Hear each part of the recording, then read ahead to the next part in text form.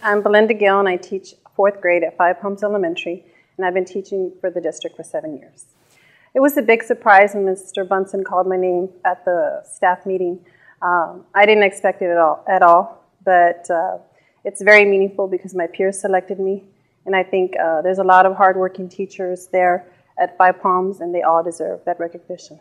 I believe as a teacher that we're lifetime learners and I, I do continue to learn and tell my students that we're all lifetime learners. Uh, so I think, you know, the more I teach, the longer I teach, the more I learn. And we all help each other at the campus. We're a big family there at Five Palms, and we are all willing to help each other and learn from each other. I have a great work. I think when you have students who are struggling, you just really have to be patient and give them, you know, everything that you have uh, to try to get them to learn.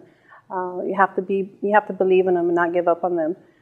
I had a student once in kinder when I first started teaching, and he was a big challenge uh, because he would chase students in the classroom, throw things in the classroom.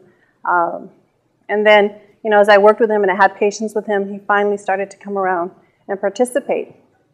And then one day he brought me a little Batman figurine. And I keep that to remind me that as a teacher, I have to have courage and patience and strength to come back and teach every day with everything that I have. I have another student who I taught in third grade, and she continues to come back uh, every year. This was four years ago. She brings me a gift on uh, Christmas or for my birthday in January.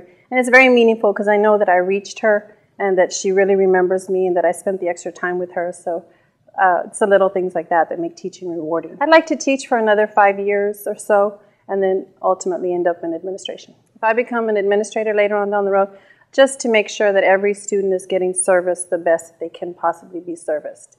You know, you have students coming in at so many different levels I would love to see a classroom where everybody's either on the same level or one level below or, you know, two levels below, not three or four levels below.